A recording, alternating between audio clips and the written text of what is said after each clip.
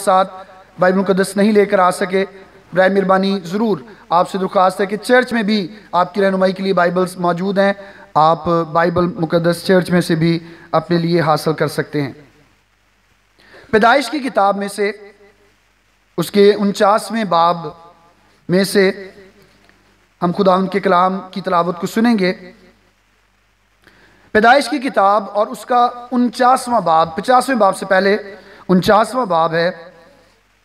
اور اس کی آٹھویں آیت سے لے کر ہم اس کی دسویں آیت کے آخر تک کلام مقدس میں سے تلاوت کو سنیں گے۔ پاکلام میں سے پیدائش کی کتاب اور اس کا انچاسواں باب اور اس کی آٹھویں آیت سے لے کر اس کی دسویں آیات کے آخر تک خدا ان کے کلام میں سے تلاوت کی جائے گی۔ پاکلام میں لکھا ہے، اے یہودا تیرے بھائی، تیری مدہ کریں۔ تیرا ہاتھ تیرے دشمنوں کی گردن پر ہوگا۔ تیرے باپ کی اولاد تیرے آگے سرنگوں ہوگی۔ یہودا، شیر ببر کا بچہ ہے۔ اے میرے بیٹے، تو شکار مار کر چل دیا ہے۔ وہ شیر ببر، بلکہ شیرنی کی طرح دبک کر بیٹھ گیا۔ کون اسے چھیڑے؟ یہودا سے۔ سلطنت نہیں چھوٹے گی اور نہ اس کی نسل سے حکومت کا اثا معقوف ہوگا۔ جب تک شلوہ نہ آئے اور قومیں اس کی متی ہوں گی۔ خدا کے کلام کا پڑھا اور سنا جانا ہم سبوں کے لیے برکت کا باعث ٹھہرے۔ آمین۔ زور سے بولیں گے جی؟ آمین۔ آمین کا مطلب ہے ایسا ہی ہو جیسا ہم نے پڑھا۔ میرے جیزو خدا یسو مسیح کی پیدائش نبوتوں کی تکمیل ہے۔ مسیح یسو جب اس دنیا میں آئے، تو مسیح یسو کے آنے سے پہلے، ان کے دنیا میں تشریف لانے سے پہلے، ان کی پیدائش سے متعلق بہت ساری نبوتیں جو ہیں، وہ کی گئیں۔ اور سب سے پہلی پشین گوئی مسیح یسو کی پیدائش کے حوالہ سے ہمیں خداون کے کلام میں پیدائش کی کتاب اور اس کے تیسرے باپ کی پندرہویں آیت کے اندر ملتی ہے، جہاں پر ابلیس نے عورت کو شجر ممنوع کا پھل کھلایا اور اس نے جب اس پھل کو کھایا تو پھل کھانے کے بعد اس نے اپنے شوہر کو بھی دیا اور خدا کے اس حکم کو توڑنے کے باعث آدم اور ہوا کو خداون نے سزا دی اور نہ صرف آدم اور ہوا کو خداون نے سزا دی بلکہ اس کے ساتھ ابلیس جس نے اس پھل کو کھانے کے لیے ہوا کو مجبور کیا ابلیس کو جو سام کی صورت میں باغ میں عورت کے پاس، ہوا کے پاس آیا خداون نے اسے بھی سزا دی اور خداون نے کہا، سام سے کہا کہ تو اس کی یعنی آدم کی ایڑی پر کاٹے گا اور اسے کہا کہ یہ تیرے سر کو کچلے گا اور خداون نے وعدہ کیا کہ نجات دہندہ عورت کی نسل میں سے ہوگا اور خداون کے کلام میں پیدائش کی کتاب تیسرے باپ کی پندرہویں آیت میں ہمیں اس بات کا ذکر ملتا ہے۔ پیدائش کی کتاب اور اس کے بائیسویں باب میں بھی خداون کے کلام میں مسیح یسو کے لیے پہلے ہی سے بتا دیا گیا ہے کہ خداون خود اپنے لوگوں کی نجات کے لیے خداوند خود ان کی تسلی کے لیے، خداوند خود ان کے گناہوں کے کفارہ کے لیے برا کو مہیا کرے گا۔ جب ابراہم اپنے بیٹے اظہاق کو خدا کے حکم کے مطابق قربان کرنے کے لیے جا رہا تھا تو کلام میں لکھا ہے، بیٹے اظہاق نے کہا، اے باپ، لکڑیاں بھی ہیں چوری بھی ہے، برا کہاں پر ہے؟ کلام میں لکھا ہے، ابراہم نے اس سے کہا کہ خداوند کے پہاڑ پر مہیا کیا جاتا ہے، خداوند خود مہیا کرے گا۔ اور یہ مسیح یسو کے لیے پیشین گوئی ہے، یہ نبوت ہے۔ اور خداوند نے خود مہیا کیا۔ لیکن آج ہم اس بات پر غور کریں گے کہ مسیح یسو کا تعلق کس نسل سے ہے اور اس کے لیے، اس نسل کے لیے خداون کے کلام میں کس خداون کے بندہ نے پیشن گوئی کی؟ میں چاہوں گا کہ خاموشی کے ساتھ اور سجیدگی کے ساتھ خداون کے کلام کو سنیں، جن کے پاس بچے موجود ہیں، ان کو خاموشی سے بٹھائیں۔ پیدائش کی کتاب اور اس کا انچاسواں باب، یہ وہ باب ہے جب خداون کا بندہ یعقوب، جس کا نام خداون نے بدل کر اسرائیل رکھ دیا خداون کا یہ بندہ اس وقت مصر کے اندر اپنے بیٹے یوسف کے ساتھ موجود ہے اور کلام مقدس میں لکھا ہے کہ اب یہ بستر مرگ پر تھا اور بسر مرگ پر یہ اپنے بارہ بیٹوں کو، اس بیٹے کو بھی جس کو اس کے بھائیوں نے بیچ دیا اور باپ سے یہ کہہ دیا کہ اسے تو کسی جانور نے مار دیا، اس کی جو پوشاک اور اس کا جو لباس تھا، اس کی جو کبا تھی انہوں نے اس پر خون لگایا اور کہا کہ دیکھ، ہمیں یوسف تو نہیں ملا، لیکن یہ اس کا لباس ملا ہے جس پر خون لگا ہے۔ وہ بھی مصر میں جب سرفراز ہوا تو یعقوب اس کے پاس موجود ہے اور وہ اپنے بارہ بیٹوں کو برکت دیتا اور نصیحت کرتا ہے۔ سب سے پہلی جو برکت ہے، وہ اپنے پہلوٹے کو دیتا ہے اور اس کا پہلوٹا جو ہے، وہ روبن تھا۔ لیکن یعقوب نے اپنے بیٹے روبن کو یہ برکت نہیں دی کہ تیری نسل جو ہے وہ ہمیشہ تک حکمران ہوگی یا تیری نسل کے اندر سے جو حکومت کا آسا ہے وہ معقوف نہیں ہوگا۔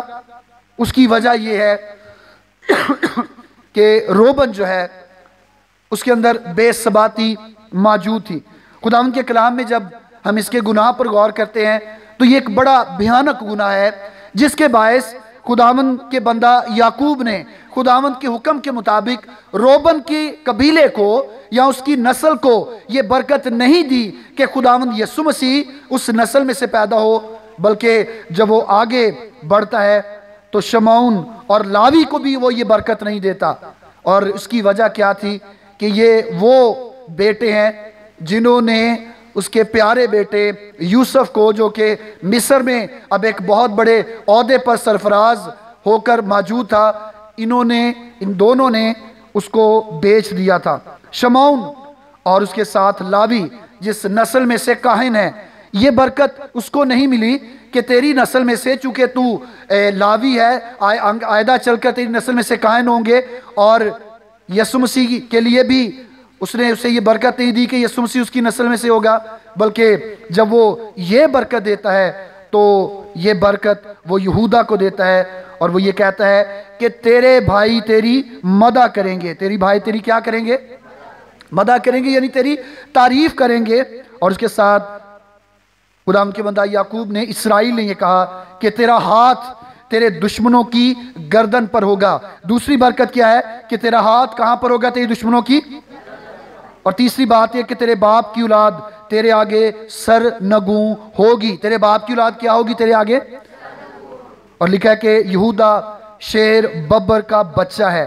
اے میرے بیٹے، تو شکار مار کر چل دیا ہے۔ وہ شیر ببر، وہ شیر ببر بلکہ شیرنی کی طرح ڈبک کر بیٹھ گیا۔ کون اس کو چھیڑے؟ اور دسویں آیت کے اندر خداون کے بندہ نے اسے یہ کہا کہ یہودہ سے سلطنت نہیں چھوٹے گی۔ یہودہ سے سلطنت کیا ہوگی؟ نہیں چھوٹے گی اور آگے لکھا ہے، نہ اس کی نسل سے حکومت کا اسا معقوف ہوگا، تب تک اس کی حکومت ختم نہیں ہوگی۔ جب تک شلوہ، لفظ جو شلوہ ہے یہاں پر، یہ لفظ جو بہت زیادہ اب بولا جاتا ہے، لفظ شالوم سے، جب تک سلامتی کا فرزند نہ آ جائے، جب تک سلامتی کا شہزادہ نہ آ جائے خداون کے بندہ نے اپنے بیٹے یہودہ سے کہا، جب تک وہ تیری نسل میں سے نہیں آئے گا، تب تک تیرے اندر سے حکومت جو ہے وہ ختم نہیں ہوگی۔ اور کلام میں لکھا ہے کہ قومیں شلوہ کی، سلامتی کے شہزادے کی متی ہوں گی قومیں کیا ہوں گی سلامتی کے شہزادے کی متی ہوں گی لفظ متی کا مطلب ہے کہ وہ اس کے آگے جھکیں گی اور وہ اس کو مانیں گی۔ سب سے پہلی بات جس پر ہم غور کریں گے وہ یہ ہے کہ مسیح یسو یہودہ کی نسل میں سے تھا۔ مسیح یسو کس میں سے تھا؟ سب بولیں کس نسل میں سے تھا؟ یہودہ کی نسل میں سے تھا اور یہودہ یعقوب کا بیٹا ہے، چوتھا بیٹا ہے اور خدا یسو مسیح اس نسل میں سے تھا۔ روبن میں سے نہیں شماؤن میں سے نہیں، لاوی میں سے نہیں، باپ نے ان کو برکت نہیں دی، بلکہ یہودہ کو برکت دی کہ یہودہ شیر ببر ہے۔ اور مسیح یسو کو ہم کیا کہتے ہیں؟ کہ وہ کیا ہے؟ یہودہ کی قوم میں سے کیا ہے؟ شیر ببر ہے۔ یہودہ کا شیر ببر، بہت سے گیت بھی ہم اس بارے میں سنتے ہیں کہ مسیح یسو یہودہ کا شیر ببر ہے۔ یہودا کا قبیلہ باقی جو گیارہ قبائل تھے، جس میں یعقوب کے بارہ بیٹے تھے، ان میں سے ایک تھا۔ لیکن خداون نے اسے سرفراز کیا۔ یہودا نے اور اس کے قبیلے نے بہت سی جنگیں جیتی اور جانوروں کی دنیا میں یہودا کی قبیلے کو جو لقب دیا گیا، وہ شیر ببر ہے۔ جانوروں کی دنیا میں سے شیر ببر جو ہے، ہم جانتے ہیں کہ شیر کو کیا کہا جاتا ہے، وہ کیا ہے جی جنگل کا؟ بادشاہ۔ جانوروں میں سے شیر کو بادشاہ کہا گیا ہے اور یہودا کو بھی شیر ببر کہا گیا ہے کہ وہ اپنے لوگوں میں سے، اپنے گیارہ جو بھائی ہیں، ان کے قبیلہ میں سے وہ شیر جیسی طاقت رکھتا ہے۔ اور یہودا کو اور اس کے قبیلے کو ہمیشہ تک رہنما بنایا گیا ہے جب تک مسیح یسو نہ آئیں۔ آئیں تھوڑی دیر کے لیے ہم خدا ان کے کلام میں سے اس بات پر بھی غور کریں گے کہ یہودا کو اگر رہنما بنایا ہے تو کیا یعقوب نبی کے مرنے کے لمبے عرصہ کے بعد یہ بات پوری ہوتی ہے یا نہیں؟ یسو مسیح تو بہت بعد میں پیدا ہو رہے ہیں۔ کیا جب یہودا کو اس نے رہنما بنایا ہے، تو کیا یہ بات پوری ہوتی ہے یا نہیں؟ میرے ساتھ نکالیے گا۔ گنتی کی کتاب اور اس کا دسواں باب اور اس کی تیرویں اور چودویں آیت۔ گنتی کی کتاب اور اس کا دسواں باب، اس کی تیرویں اور چودویں آیت۔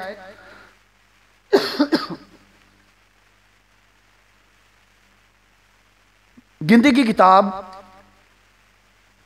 عروج کی کتاب کے بعد ہے، گنتی کی کتاب اور اس کا دسواں باب۔ اور اس کی تیرویں اور چودویں آیت خدا کے کلام میں سے پڑھیں گے۔ پاک کلام میں لکھا ہے، سو خداون کے اس حکم کے مطابق جو اس نے موسیٰ کی معرفت دیا تھا، ان کا پہلا کوچ ہوا۔ اور سب سے پہلے بنی یہودا کے لشکر کا جھنڈا روانہ ہوا اور وہ اپنے دلوں کے مطابق چلے۔ سب سے پہلے کس کا لشکر؟ کا جھنڈا روانہ ہوا جی؟ بنی یہودا کا، سب بولیں کس کا؟ یہ وہ وقت ہے جب اسرائیلی کسی جگہ پر رہتے اور خیمے اٹھایا کرتے تھے، تو پھر کلام میں لکھا ہے کہ سب سے پہلے بنی یہودا کا لشکر جو ہے وہ روانہ ہوا۔ اور کلام میں جو بات خداون کے بندہ یعقوب نبی نے کہی تھی، وہ پوری ہوئی، کیونکہ سب سے پہلے اس کا لشکر جس کو خداون کے بندہ یعقوب نبی نے برکت دی تھی، اس کا لشکر جو ہے وہ روانہ ہوا۔ بنی اسرائیلیوں نے بھی ایک بار غلطی کی۔ بادشاہت ہمیشہ تک کس کو بخشی گئی تھی جی؟ کس قبیلے کو؟ اونچی بولیں، کس قبیلے کو بخشی گئی؟ یہودا کے قبیلے کو۔ لیکن بنی اسرائیلیوں نے غلطی کی۔ اور وہ غلطی کیا تھی؟ کہ انہوں نے اپنے لیے بادشاہ مانگا، بادشاہ چاہا اور ایک ایسی نسل میں سے اور ایسے قبیلے میں سے بادشاہ چاہا جو سب سے چھوٹا قبیلہ تھا اور وہ بنیامین کا قبیلہ تھا۔ اور کلام مقدس میں سے میرے ساتھ نکالیے سیم النبی کی پہلی کتاب، پہلا سیمول اور اس کا آٹھواں باب اور اس کی چوتھی آیت۔ پہلا سیمول، اس کا آٹھواں باب اور اس کی چوتھی آیت۔ سیم النبی کی پہلی کتاب، پہلا سیمول اور اس کا آٹھواں باب اور اس کی چوتھی آیت۔ آٹھویں باب کی چوتھی آیت میں لکھا ہے تب سب اسرائیلی بزرگ جمع ہو کر راما میں سیمیول کے پاس آئے اور پانچویں آیت پہ لکھا ہے، اور اس سے کہنے لگے، دیکھ تو ضعیف ہے۔ دیکھ تو کیا ہے؟ ضعیف ہے یعنی تو بوڑھا ہے، تو ہمارا قاضی ضرور ہے، لیکن اب تو بوڑھا ہو گیا ہے، اور تیرے بیٹے تیری راہ پر نہیں چلتے۔ اب تو کسی اور کو ہمارا بادشاہ مقرر کر دے، جو اور قوموں کی طرح ہماری عدالت کرے۔ اور کلام میں لکھا ہے، جب انہوں نے کہا کہ ہم کو کوئی اور بادشاہ دے جو ہماری عدالت کرے، تو یہ بات سیمیول کو بری لگی اور سیمول نے خداون سے دعا کی۔ اور خداون نے سیمول سے کہا، جو کچھ یہ لوگ تجھ سے کہتے ہیں، تو اس بات کو مان، کیونکہ انہوں نے تیری نہیں بلکہ میری حکارت کی ہے۔ کس کی حکارت کی ہے؟ میری حکارت کی ہے۔ میں ان کا، کہ میں ان کا بادشاہ نہ رہوں۔ خداون یہ کہتا ہے کہ انہوں نے بادشاہ مانگا ہے اور اس لیے مانگا ہے کہ میں اب ان کا بادشاہ نہ ہوں، وہ اپنے لیے کسی اور بادشاہ کو ڈھونڈتے ہیں۔ اور کلام میں لکھا ہے کہ بنیامین کے قبیلہ میں سے، پہلا سیمول اس کا نوما باپ اور اس کی پہلی آیت کے اندر لکھا ہے کہ بنیامین کے قبیلے کا ایک شخص جس کا نام کیس بن ابیل تھا اور وہ بنیامینی کا بنیامینی کا بیٹا اور زبردست سورما تھا، اس کا نام سول تھا۔ انہوں نے اسے اپنا بادشاہ چن لیا۔ جب خداون نے اپنے بندہ یعقوب کے وسیلہ سے یہ کہا تھا کہ رہنمائی کس قبیلے کو ملے گی جی؟ سب بولیں کس قبیلے کو؟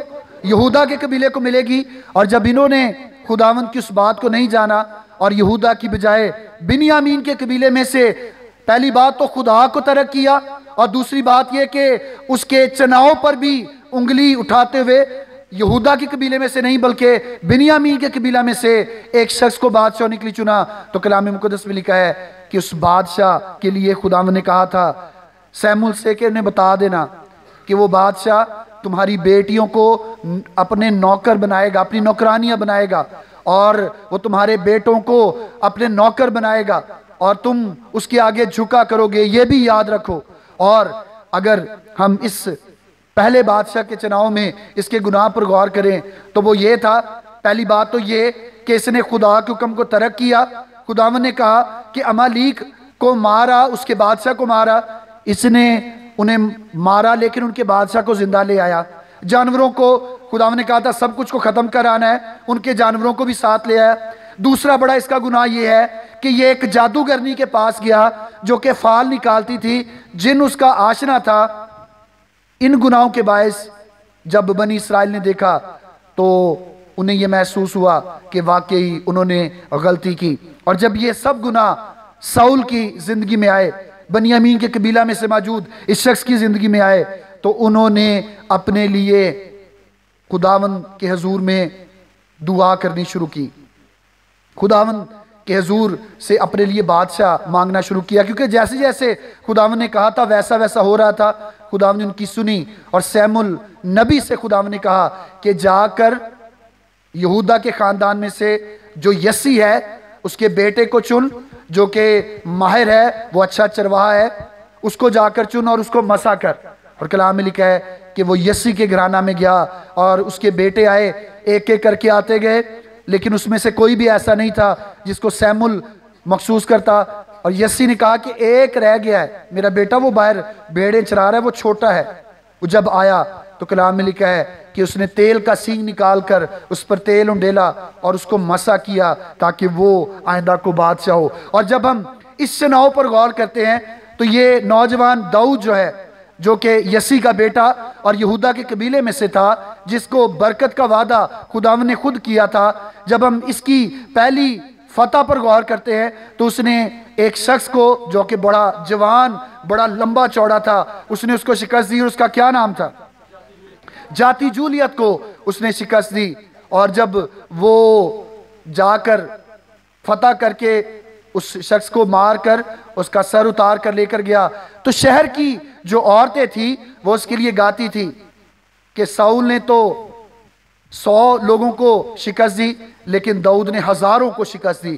جاتی جولیت جو ہے، وہ ایک دراز کا تھا اور ایک بہت دیو ہیکل شخص تھا جس کو دعود نے شکست دی۔ اور ایسا کیوں ہوا؟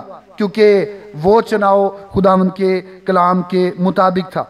مسیح یسو جو یہودا کے قبیلے کا شیر ببر ہے جب ہم اس پر غور کرتے ہیں تو مسیح یسو کی بادشاہت کبھی نہ ختم ہونے والی بادشاہت ہے۔ یہودا کی نسل وہ نسل ہے جس نے اسرائیل پر بادشاہت کی۔ جس نے اسرائیل پر کیا کی؟ بادشاہت کی۔ جب اسرائیل بارہ قبیلوں میں تھا تو یہودا نے اس وقت ان پر بادشاہت کی اور اس کے بعد جب یہ بادشاہت دو حصوں میں تقسیم ہو گئی۔ دس بیٹے جو ہیں وہ علیحدہ ہو گئے اور دو بیٹے بنیامین اور یہودا، یہ علیحدہ ہو گئے، جنوبی جنوبی اور شمالی سلطنت دو بن گئی۔ تو اس میں سے جو سب سے اچھی بادشاہت تھی وہ جنوبی سلطنت کی تھی، جس میں یہودا اور بنیامین شامل تھے۔ اور یسو مسیح جو یہودا کا شیر ببر ہے، اس کی بادشاہت ہمیشہ تک رہنے والی بادشاہت ہے۔ اسمان اور زمین تو ٹل جائیں گے جو کچھ وہ کہتا ہے وہ ہمیشہ قائم رہے گا اور جو کچھ اس نے کہہ دیا وہ ہو کرے گا اور خداوند کے کلام کے اندر جب ہم مکاشفہ کی کتاب اور اس کا پانچواں باب اور اس کی پانچویں اور چھٹی آیت کو دیکھیں تو ہمیں یہ ذکر ملتا ہے کہ مسیح یسو کی بادشاہت ہمیشہ تک رہنے والی بادشاہت ہے۔ مکاشفہ کی کتاب پانچ باب، پانچویں اور چھٹی آیت خدا ان کے کلام میں لکھا ہے۔ میرے ساتھ ضرور نکالی گئے اس حوالے کو۔ مکاشوہ کی کتاب، پانچواں باب، اس کی چوتھی اور اس کی پانچویں اور اس کی چھٹی آیت خدا ان کے پاک کلام سے دیکھیں گے۔ کلام میں لکھا ہے، تب ان بزرگوں میں سے ایک نے مجھ سے کہا، مت رو، دیکھ یہودا کے قبیلے کا وہ ببر جو دعوت کی نسل ہے، اس کتاب اور اس کی ساتوں مہروں کو کھولنے کے لیے غالب آیا۔ یہودا کا ببر ساتوں مہروں کو کھولنے کے لیے کیا آیا جی؟ غالب آیا ہے۔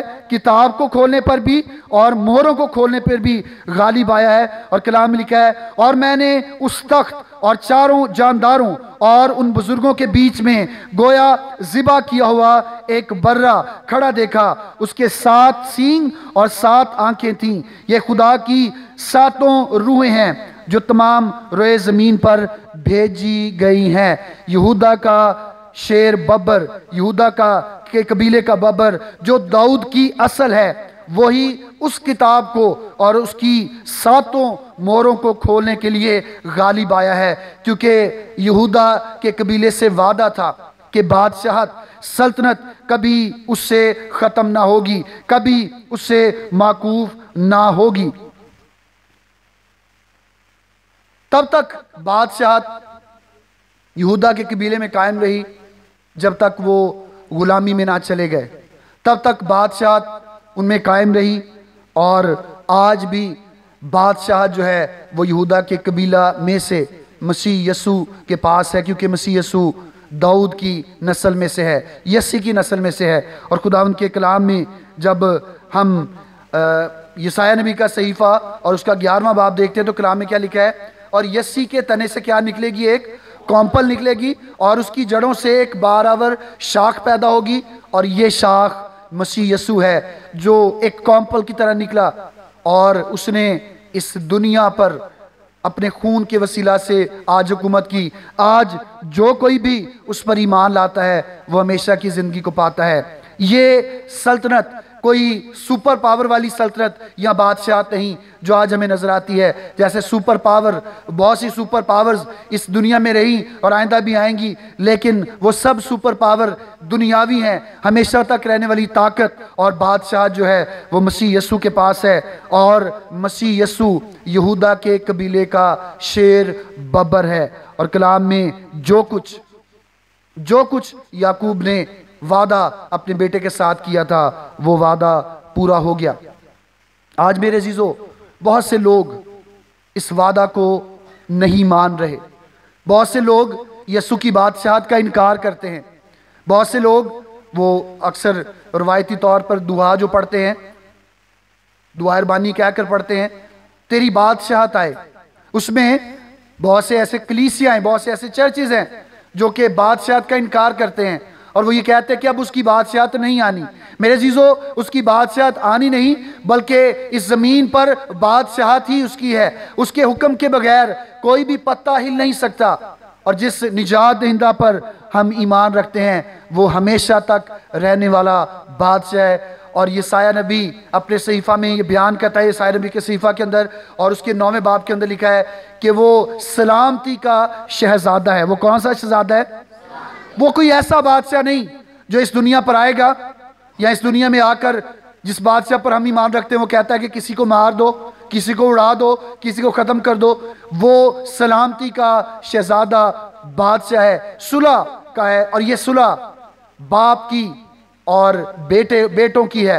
انسان کی خدا کے ساتھ صلح ہے جو نجات دندہ کروانے کے لیے آیا اور وہ ایسی صلح ہے کہ جب ہم اس پر ایمان لے آتے ہیں، تو پھر ہم بھی آسمانی بادشاہت کے فرزند ٹھہرتے ہیں۔ اور کلام میں لکھا ہے کہ میں کہوں گا ان سے جو ایمان لائیں گے کہ آؤ میرے باپ کے برگزید ہو آؤ اس میراث کو حاصل کرو جو بنائے عالم سے پیشتر تمہارے لیے رکھی گئی تھی۔ مسیح یسو یہودا کے قبیلے کا شیر ببر ہے۔ اور ابلیس بھی اس سے ڈرتا ہے۔ جب ہم خداون یسمسی کا نام لیتے ہیں تو ابلیس ڈر جاتا ہے۔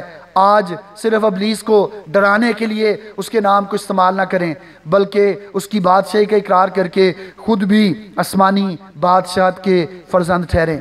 بہت سے لوگ یسو پر ایمان تو نہیں رکھتے، لیکن یسو کا نام لے کر اکثر بدروحوں کو جھڑک دیتے ہیں۔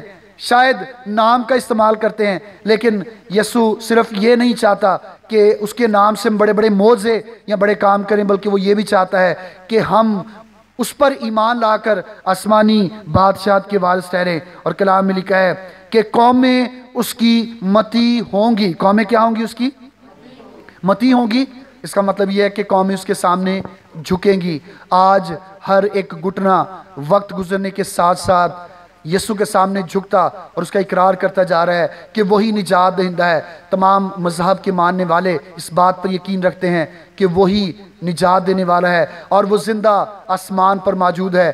وقت گزرنے کے ساتھ ساتھ مسیحی لوگوں کی تعداد میں، سچے مسیحوں کی تعداد میں اضافہ ہوتا جا رہا ہے۔ اور یہ اس نبوت کی تکمیل ہے جو یعقوب نبی نے اپنے بیٹے یہودہ کے لیے کی کہ تیری نسل میں سے بادشاہت نہیں چھوٹے گی جب تک سلامتی کا فرزند شلوہ نہ آ جائے اور قومیں اس کی متی ہو جائیں گی، قومیں اس کے سامنے جھک جائیں گی۔ اور کلام میں لکھا ہے کہ ہر ایک گھٹنا اس کے سامنے جھکے گا۔ خواہ آسمانیوں کا ہو، خواہ زمینیوں کا، ہر ایک زبان اقرار کرے گی کہ یسو مسیح کیا ہے جی؟ خداوند ہے۔ یسو مسیح کیا ہے؟ آج میری خداوند سے دعا ہے کہ ہم سب جتنے بھی کلام کو سن رہے ہیں جو خدا کے گھر میں بیٹھے ہیں یا اپنے اپنے گھروں میں بیٹھ کر کلام کو سن رہے ہیں۔ خدا ہمیں توفیق بخشے کہ صرف ہم کرسمس کو اس طرح نہ منائیں کہ جی ہمارا یسو جو ہے وہ وہ شیر ببر ہے، وہ شیر ببر نہیں ہے وہ بلکہ یہودا کا شیر ببر ہے۔ اس بات پر ایمان رکھیں اور اس کے ساتھ ساتھ یہ بھی کہ اس کی بادشاہت ہمیشہ تک رہنے والی بادشاہت ہے۔ اس کی نسل سے یہودا کی نسل سے جیسے وعدہ کیا گیا تھا کہ حکومت کا عصا معقوف نہ ہوگا۔ آج بھی اس دنیا پر جو اصل حکومت ہے وہ ہمارے یسو کی ہے۔ وہی نجات دندہ اور ہمیشہ تک رہنے والا بادشاہ ہے۔ میری خدا سے یہ دعا ہے کہ خدا اس کلام کی وسیلہ سے ہمیں برکت بخشے اور ہمیں یہ توفیق بخشے کہ ہم ہمیشہ اس کے کلام پر عمل کریں اور اس کے ساتھ چلتے اور بڑھتے رہیں۔ خدا اس کلام کی وسیلہ سے ہمیں یہ توفیق بخشے کہ ہم یسو کے بارے میں، جس کی بادشاہت ہمیشہ تک قائم رہنے والی بادشاہت ہے، اس کے بارے میں جان کر دوسروں تک بھی اس کلام کو پہنچانے والے ہوں۔ آمین۔